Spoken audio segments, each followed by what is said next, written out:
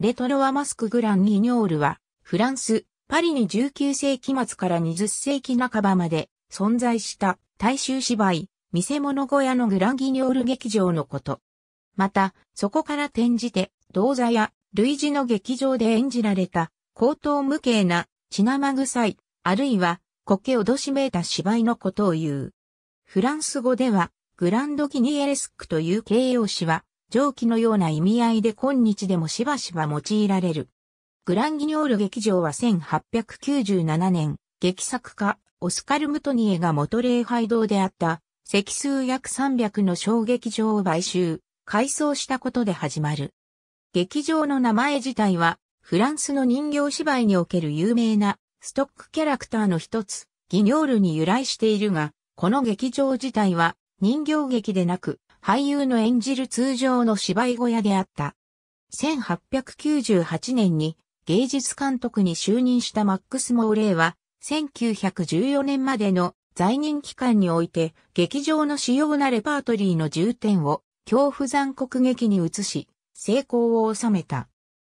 そこで上演された演目では、不老者、街頭の孤児、娼婦、殺人志向者など、折り目正しい舞台劇には登場しないようなキャラクターが多く登場し、妖怪譚、嫉妬からの殺人、英治殺し、バラバラ殺人、火炙り、ギロチンで切断された後も喋る、頭部、外国人の恐怖、伝染病などありと、あらゆるホラーをテーマとする芝居が、しばしば血のりなどを大量に用いた、特殊効果付きで演じられた。個々の芝居は普通短編で、複数本立てで上演されることが多かった。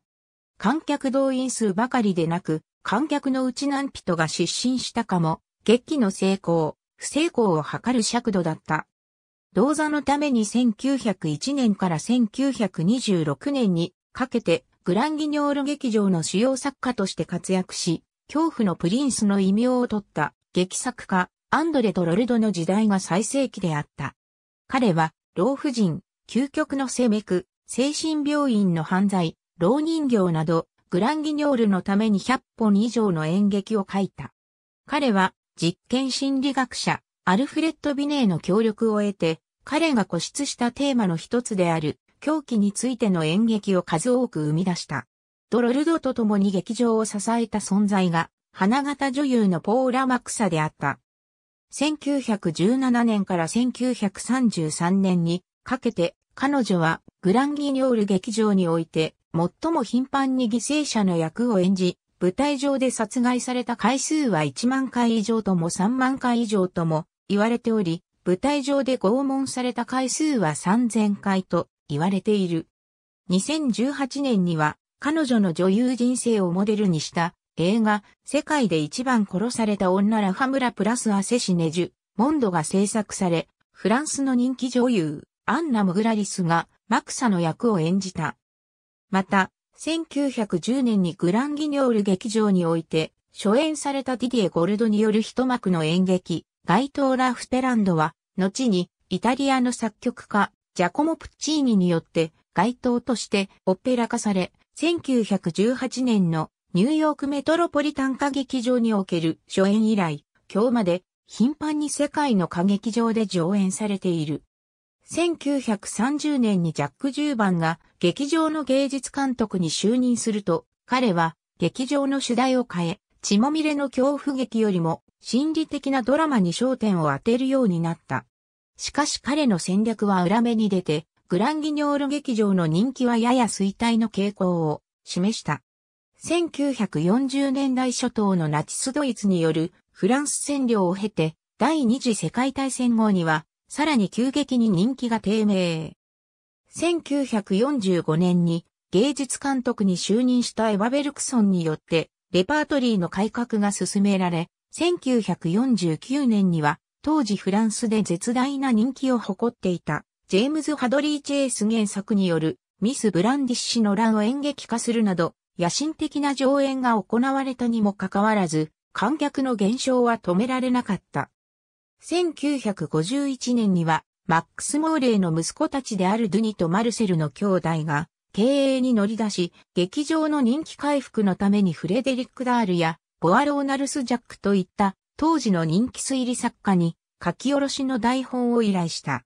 特にボアローナルス・ジャックの書き下ろしによる二幕の恐怖劇メと英雄ロローンティは評判となってテレビでも放映されるなどグランギニョールの演目が話題となることもあったが、劇場の人気低迷に決定的な歯止めをかけることはできなかった。最終的には1962年、映画などとの競争に敗れる形で閉鎖された。最後の芸術監督となったシャルル・ノノンは、グランギニョール劇場の戦後の人気急落の原因として、ナチスによるホロコーストが人々に与えた衝撃が、作り物の恐怖演劇への興味を失わせた結果で、あろうと分析。劇場が閉鎖された際のインタビューにおいてのノンは、戦前、グランギニョール劇場の舞台上の出来事は現実にはありえないことだと誰もが信じていた。だが我々は、現在、劇場で上演される陰惨な行為が、あるいは、それよりもさらに残虐な行為が、現実に起こり得ると知ってしまったと語った。最終期の上演となったのは、一幕の喜劇ドゥ、ファムズ・シュール・レブロス、二幕の恐怖劇、顔のない名霊優サンズ・ビサージュ、及び二幕のサスペンス劇劇パロジエ・デ・ラモー、であった。顔のない目は、ジョルジュ・フランジ監督の映画、顔のない目の原作を劇化した二幕の演劇だが、原作は映画のような有限曜日なものではなく、残虐な殺人事件を警察が捜査していると異常な犯人が浮かび上がるという通俗的なノワール小説であり、グランギニョール劇場の上演も原作に近い脚色であった。グランギニョール劇場における上演の映像はイタリアのモンド映画、放題、地球の皮をハグで見ることができる。狂った医師が若い女性を解体する残酷描写は、後のハーシェル・ゴードン・ルイス監督の映画を連想させるものとなっている。この映像が実際にグランギニョール劇場の舞台を撮影したものであるかどうかは研究者の間でも意見が分かれているが、出演しているのは確かに当時のグランギニョール劇場で活躍していた俳優であり、劇場の内装もグランギニョールのものであるという。